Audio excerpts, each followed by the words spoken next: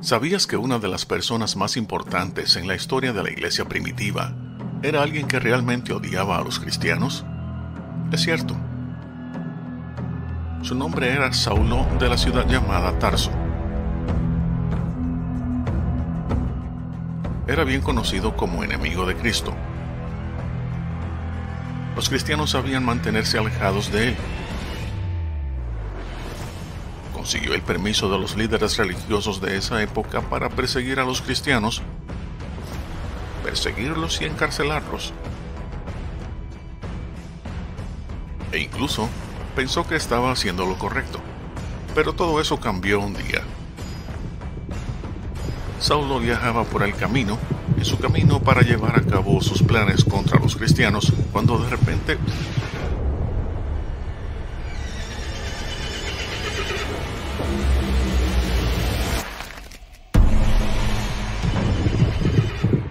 luz brillante hizo que se quedara ciego y cayera al suelo.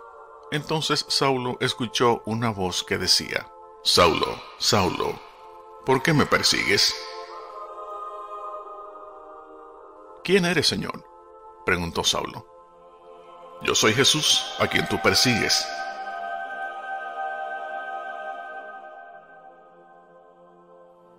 Bien, después de escuchar a Jesús hablar, Saulo se asustó y tembló.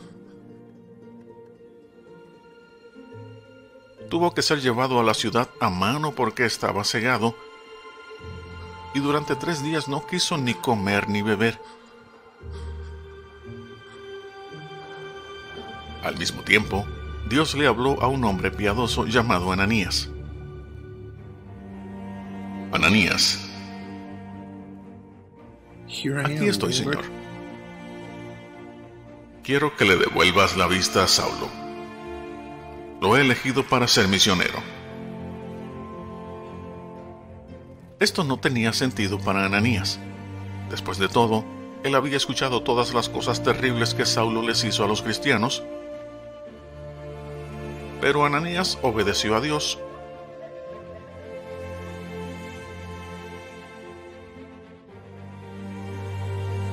fue por una calle en particular a una casa en particular y encontró a Saulo justo donde Dios dijo que estaría.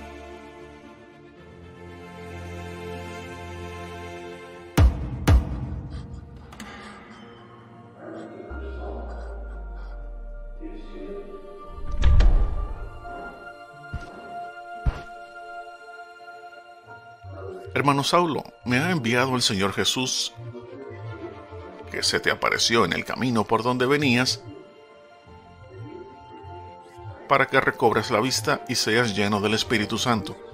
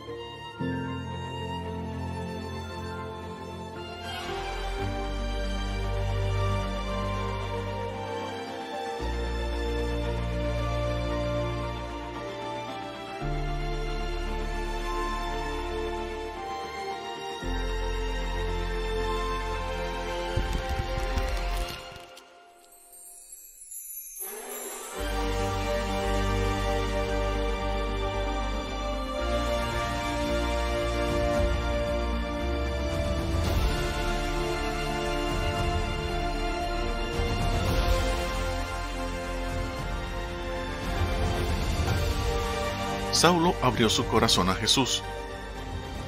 Comenzó a predicar y enseñar acerca de Jesús donde quiera que fuera, y muchos se convirtieron en seguidores de Jesús.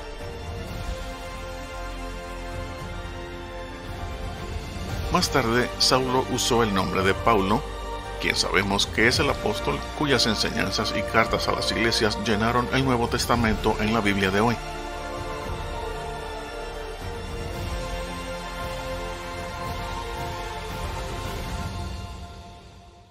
Pablo, fielmente, le dio a Dios toda la gloria y enseñó a otros a hacer lo mismo, cambiando el mundo al revés para Jesús.